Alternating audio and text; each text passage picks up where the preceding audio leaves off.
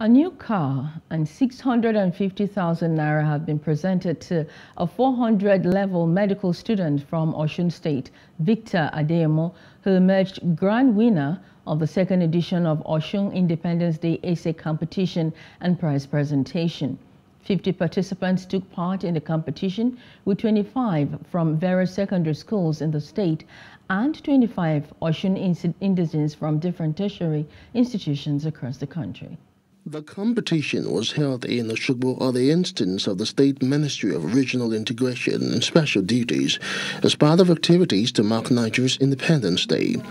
The grand winner of the tertiary institutions category, Victor Adeyemo, got a car and 650,000 naira, while the first runner-up got 300,000 naira, a laptop, and a printer. This competition is um, fair, and um, I like that the judging and the, um, the assessment was done blindly. So I'd like to say to everyone out there that keep pushing. I have um, participated in a lot of competition. I have lost many, but then to God's glory, I want today's one. So try, don't stop trying. It can be your opportunity. And I'm so delighted. And the message I'm passing across, even to students like me, is that um, hard working actually pays.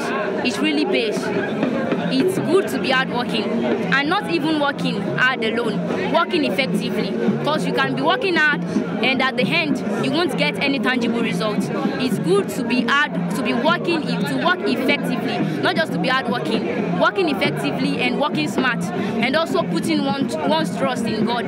It really pays. Similarly, the grand winner of the secondary schools category got about 400,000 naira and a laptop, including all the gifts, while all the finalists got 10,000 naira from the state government and other stakeholders.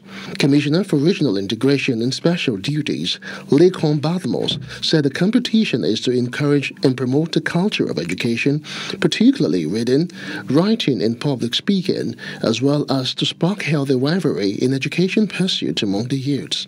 Education is not only learning of facts, but training of mind to think. Today, our dear state has assembled sizable population of youths to think and suggest probable solutions to the challenges facing us as a nation. To some people, this might not sound interesting, as the Osun government has thought out of box and moved away from the conventional march past to this assemblage.